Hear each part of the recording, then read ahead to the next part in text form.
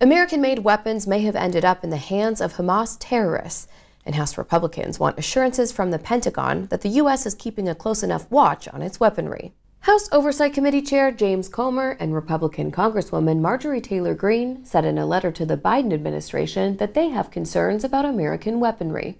They cited reports from Ukrainian intelligence officials about American made weapons that Russia may have captured on the battlefield in Ukraine and then sold to Hamas.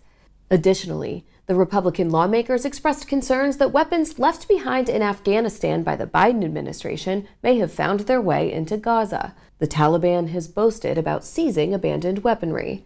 Comer and Taylor Greene asked for a briefing from the Pentagon by October 30th. Their request comes as President Biden asks Congress for more than $65 billion in aid to Ukraine and Israel. Some Republican lawmakers had already cast doubt on the future of Ukraine aid. They've said there's not enough oversight of the arms and money that the U.S. has already sent.